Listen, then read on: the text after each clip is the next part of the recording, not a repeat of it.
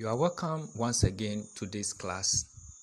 We have social studies, governance, politics, and stability is our section, and our unit is colonization and national development.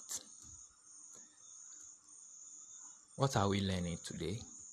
Today, we are learning to explain the term transatlantic slave trade locate the roots of the transatlantic slave trade.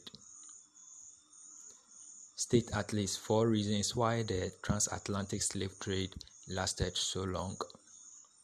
Then again, shall look at four negative effects of the transatlantic slave trade. Then lastly, shall look at the factors leading to the decline of the transatlantic slave trade. Great. So, the transatlantic slave trade. The transatlantic slave trade was the buying and selling of human beings from West Africa. They transported them across the Atlantic Ocean to the Americas. The Americas include West Indian, the Caribbean, that's the Caribbean and the surrounding islands, and North and South America. This trade began in the 16th century until in the 1860s it came to an end. Historians believe that more than 200 million Africans were sent off from the coast of Africa but about 12 million of them were about to reach were able to reach their destinations. African slaves were captured by raiders and chiefs. So these were the people so it wasn't the Europeans who came down to Africa to capture the Africans, but rather it was our it were our uh, it was our own people who were doing this activity. So when they get you, then they will sell you to the white men. And what why were they doing that? They were doing that in exchange of goods such as gun and gunpowder. So you capture human being to collect gun and gun gunpowder. Okay. So let's look at the trade routes. So looking at this, this is Africa.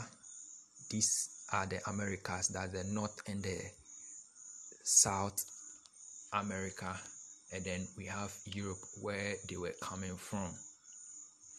So when Africans are captured in Africa, they were moved as slaves to the Americas.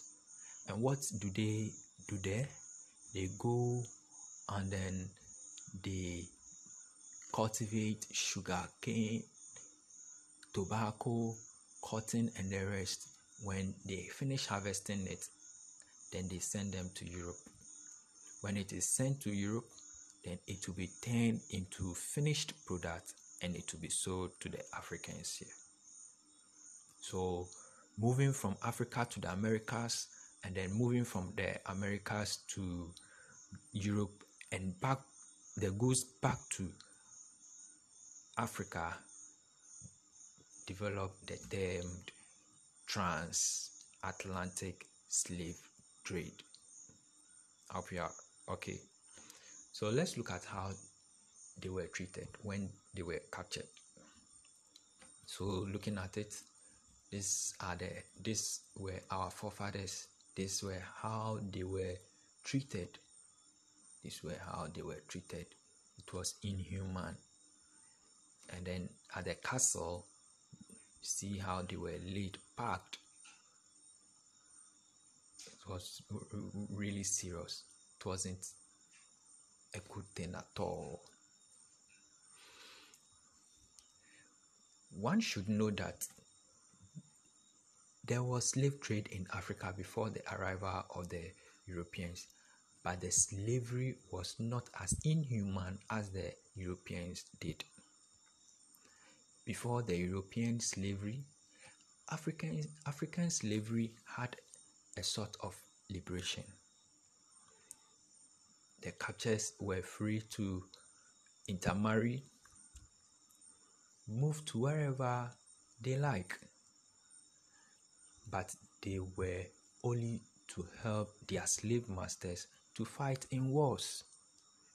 Also, they were obliged to pay some amount of money to their slave masters every year. So these were the things that African slaves were doing before the European brought theirs, which was very inhuman.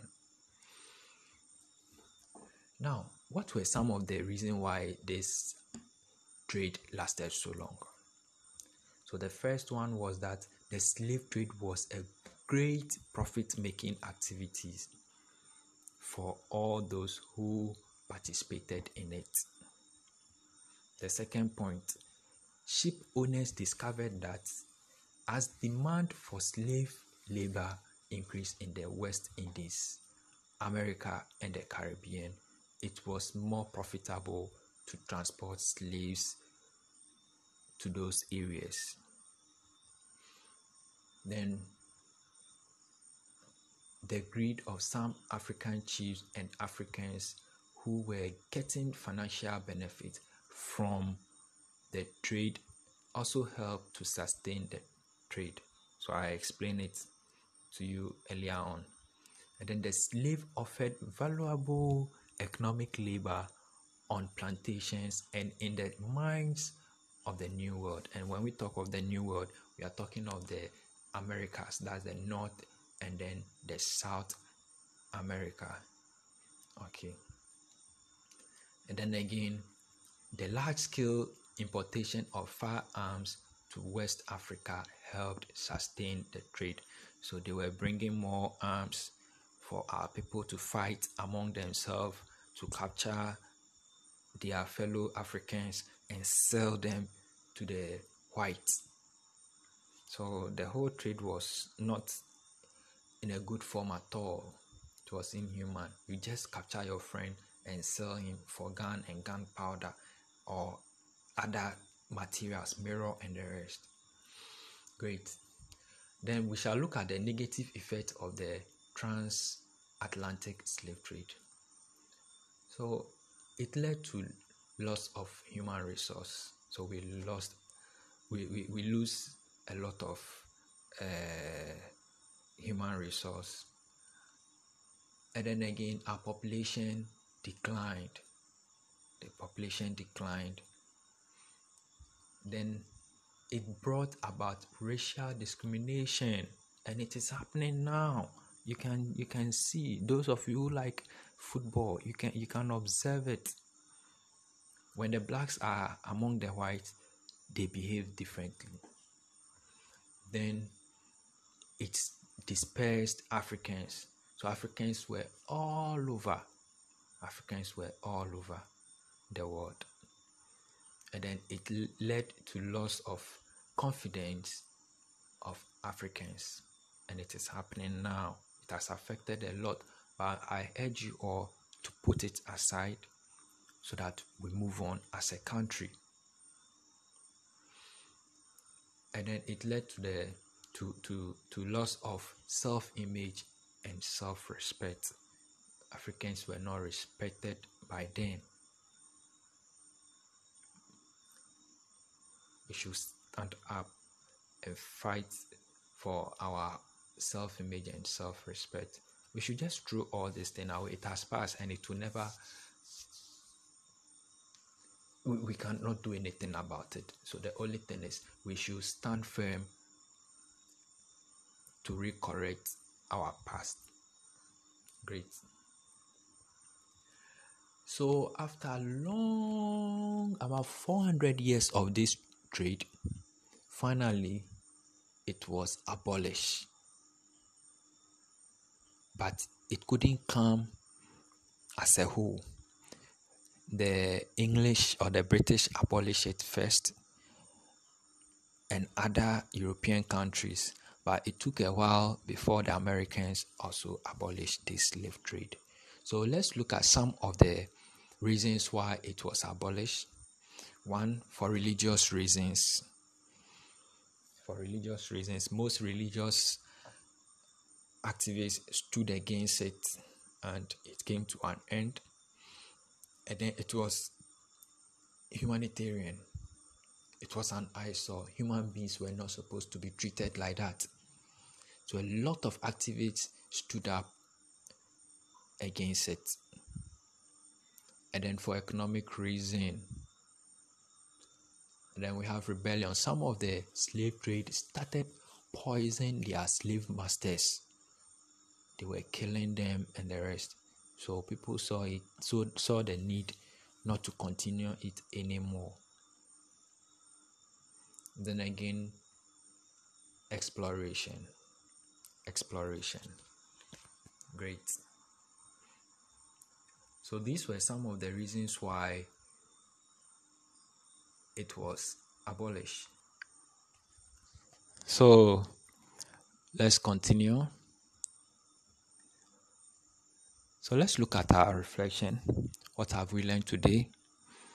Today we've looked at the transatlantic slave trade. I said it was the buying of the buying and selling of human beings from West Africa and it was across the ocean to the Americas. And we saw some of the reasons why it lasted so long.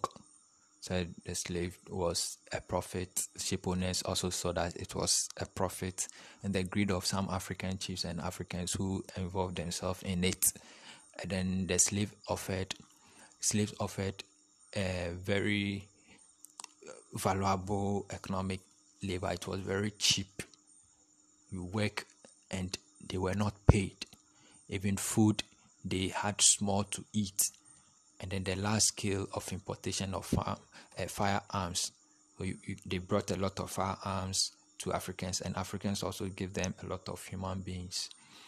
And then we looked at some of the negative effects so, loss of human resource, loss of population, it brought racial discrimination, despair of Africans, loss of confidence of Africans, loss of self image, and self respect. Then we look at some of the reasons why it came to an end. We said religious reasons, humanitarian. It is humanitarian that the slave was was condemned on moral and humanitarian grounds. It was seen as unkind and cruel. Then again, economic reason. Slave, slave labor was no longer needed, especially in the West Indies, India island. Markets were rather needed to sell manufactured goods and not slave to produce the raw material. So they stopped it. Then the rebellion, frequent slave revolts on the plantation also called for the abolishment. And then we look at the exploration, said later on they discovered the interior part of Africa where they had a lot of interest in it, so they stopped it. Great.